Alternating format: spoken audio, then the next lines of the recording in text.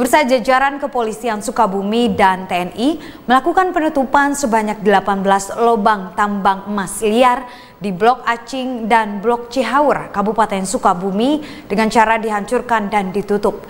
Tambang emas liar yang diduga telah beroperasi beberapa bulan ini ditutup permanen dan tak dapat digunakan lagi. Polisi pun mengamankan hasil tambang dan beberapa terpal yang digunakan oleh penambang liar. Ratusan anggota polisi dan TNI melakukan operasi penutupan tambang emas liar yang berada di kawasan perkebunan teh dan karet Kabupaten Sukabumi. Operasi ini pun menyertakan Satpol PP dan warga untuk menutup sedikitnya 18 lubang tambang emas liar dari dua blok. Beberapa karung hasil tambang dan beberapa unit terpal diamankan oleh polisi dari lokasi tambang liar yang sudah ditinggalkan oleh para penambang. Dari dua blok yang dioperasi oleh tim ada 18 lubang yang ditutup secara permanen dan bangunan para penambang liar pun diruntuhkan. Lubang-lubang penambang liar tersebut diperkirakan menjadi sumber bencana alam longsor.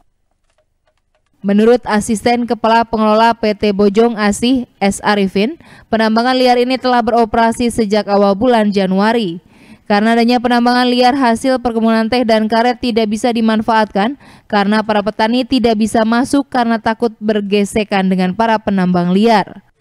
Dampaknya ya udah jelas ini kan nggak bisa diambil lagi. Hmm. Terus si karyawan juga yang mau ngambil mendekati sini nggak bisa. Kenapa alasannya nggak bisa?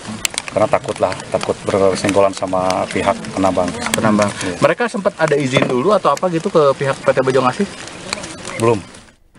Wakapolres Sukabumi Kompol Sigit Rahayudi menyatakan sebelum melakukan kegiatan penutupan lubang penambang liar diawali kegiatan sosialisasi penyuluhan kepada para penambang agar tidak melakukan penambangan liar kembali. Jika ada penambang yang masih melakukan kegiatan menambang secara liar akan dilakukan penegakan hukum. Kita melaksanakan operasi penertiban tambang ilegal khususnya tambang emas yang ada di wilayah Kabupaten Sukabumi. Nah, kegiatan ini dilaksanakan dari tadi jam 8 sampai dengan siang ini pukul 14.00 di mana kegiatan ini merupakan operasi gabungan. Polisi pun berencana kembali akan melakukan penutupan tambang liar lainnya di daerah-daerah yang merupakan lokasi rawan bencana alam. Budi Setiawan, Bandung TV.